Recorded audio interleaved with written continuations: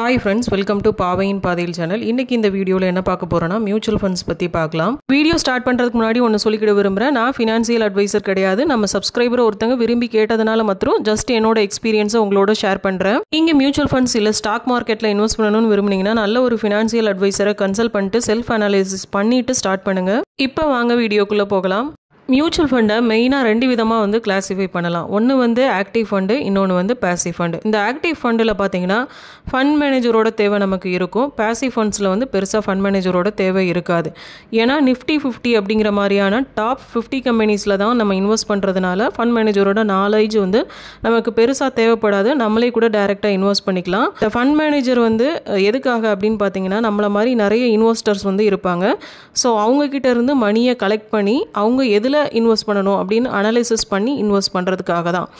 For example அவங்க வந்து நம்மகிட்ட இருந்து வாங்குகிற ஃபண்ட்ஸை வந்து ஸ்டாக்ஸில் பாண்ட்ஸில் அப்புறம் வந்து கோல்டு பீஸு அப்புறம் கவர்மெண்ட் பாண்ட்ஸு இதே மாதிரி இன்வெஸ்ட் பண்ணுவாங்க. ஸோ இவங்க வந்து ஃபண்ட்ஸை எதில் இன்வெஸ்ட் பண்ணுறாங்க அப்படிங்கிறதுக்கு ஏற்ற மாதிரி ஃபண்ட்ஸை வந்து ஈக்விட்டி ஃபண்டு டெப்ட் ஃபண்டு ஹைப்ரிட் ஃபண்டு அப்படின்னு நிறைய டைப்ஸ் இருக்குது ஸோ லேட்டரான அதை பற்றி பார்க்கலாம்.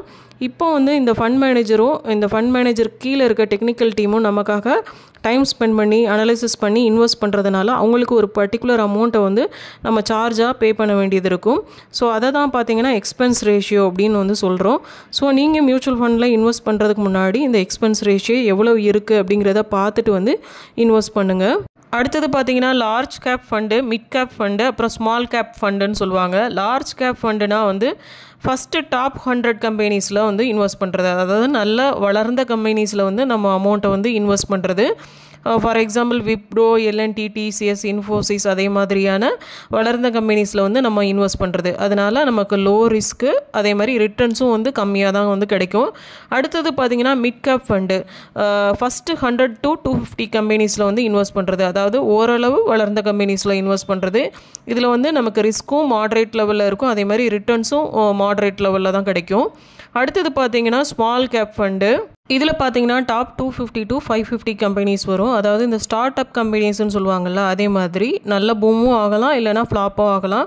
அதை பொறுத்து நமக்கு இதில் வந்து ஹை ரிஸ்க்கும் உண்டு ஹை ரிட்டர்ன்ஸும் வந்து கிடைக்கும். அடுத்தது இதோட இன்வெஸ்ட்மெண்ட் டைப்ஸ் பற்றி பார்க்கலாம். ஃபர்ஸ்ட் ஒன் வந்து எஸ்ஐபி அடுத்தது வந்து லம்சம் எஸ்ஐபினா வந்து சிஸ்டமேட்டிக் இன்வெஸ்ட்மெண்ட் பிளான் அதாவது ஒரு குறிப்பிட்ட தொகையை ஒரு குறிப்பிட்ட இன்டர்வலில் வந்து சிஸ்டமேட்டிக்காக பிளான் பண்ணி இன்வெஸ்ட் பண்ணுறது பேர் தான் எஸ்ஐபி ஃபார் எக்ஸாம்பிள் நான் இப்போ ஒரு டூ தௌசண்ட் ருபீஸ் வந்து மாதம் மாதம் இன்வெஸ்ட் பண்ணணும்னு நினைக்கிறேன்னா இந்த டூ தௌசண்ட் ருபீஸ் வந்து ஒரு குறிப்பிட்ட டேட்டில் நம்ம பேங்க் அக்கௌண்ட்லேருந்து கட் ஆகி டிமேட் அக்கௌண்ட்டுக்கு போகிற மாதிரி செட் பண்ணி வச்சுக்கலாம்.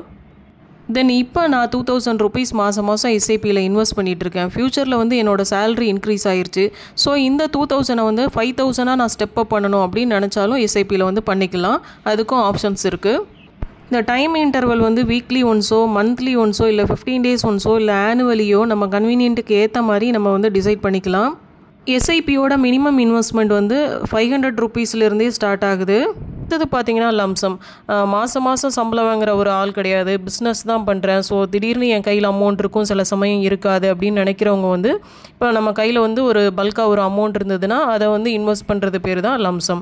தென் மியூச்சுவல் ஃபண்டில் இன்வெஸ்ட் பண்ணுறீங்கன்னா ஷார்ட் டேர்முக்கு வந்து இன்வெஸ்ட் பண்ணுற மாதிரி பிளான் பண்ணாதீங்க. அது பெரிய அளவில் நமக்கு எந்த ப்ராஃபிட்டும் தராது. லாங் டேர்முக்கு இன்வெஸ்ட் பண்ணுற மாதிரி பிளான் பண்ணிக்கோங்க. Minimum six to seven years வந்து இன்வெஸ்ட் பண்ணுற மாதிரி பிளான் பண்ணிக்கோங்க. அப்போ தான் வந்து நமக்கு ஓரளவு ப்ராஃபிட் கிடைக்கும்.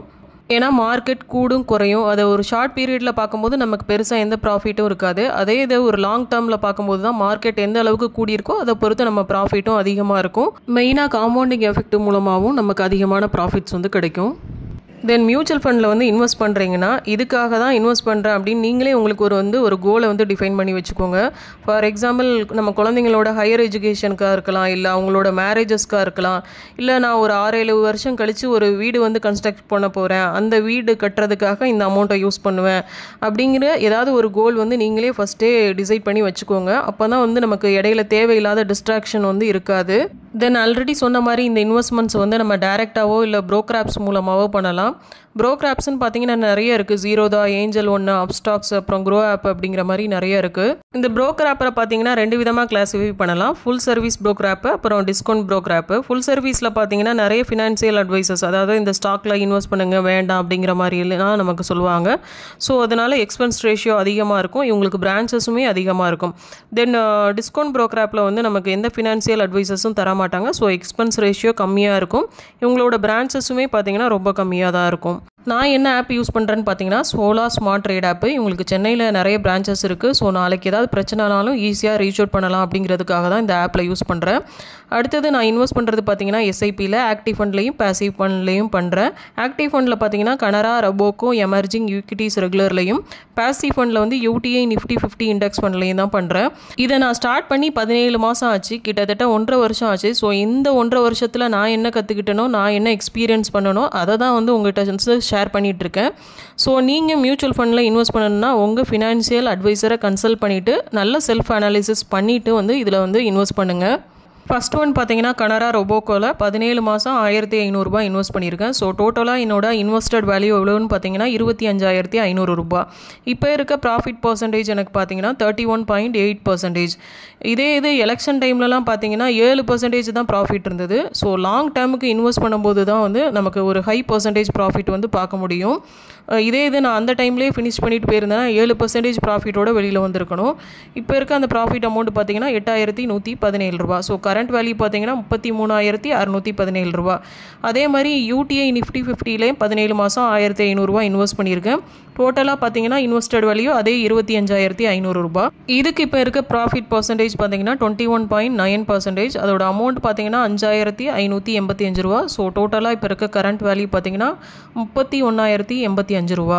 எப்படி வந்து ஒரு விதையை விதைச்சி அதுக்கு வந்து நம்ம ரெகுலராக தண்ணி ஊற்றி அதை மரமாக்குறோமோ அதே மாதிரி தான் வந்து நம்மளோட இன்வெஸ்ட்மெண்ட்டும் இருக்கணும்.